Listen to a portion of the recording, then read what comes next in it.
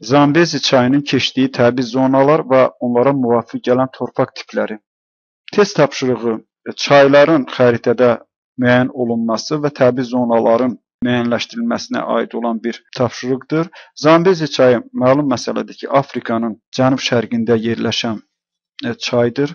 Mənbəyi subekvatorial iqlim qurşağında götürür və Hind okeanına tökülür. Mənbəyi əgər subekvatorial iqlim qurşağına götürürsə, deməli test tapşırığının cavabı C variantı olur. Belə ki, savanna və seyrək meşələr bu ərazidə formalaşır. Torpaqları da savannanın qırmızı qonur və qırmızı ferrolit torpaqlardır.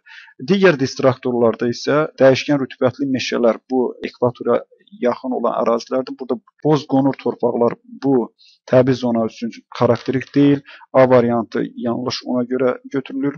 B variantında yanlışlıq ona görə rütubətli ekvatorial meşələrdən Zambezi çayı baş götürmür. Qırmızı, sarı, ferrolit, qəhvəyi torpaqlar isə əsasən Aralıq dənizi iqlim qurşağında, yəni çodyarpaqlı meşə və kolluqlarda müşahidə olunur. B variantı da yanlışdır. D variantında səhra və çodyarpaqlı meşələr, qəhvəyi şabaldı torpaqlar bu uyğun gəlmir Zambezi çayına.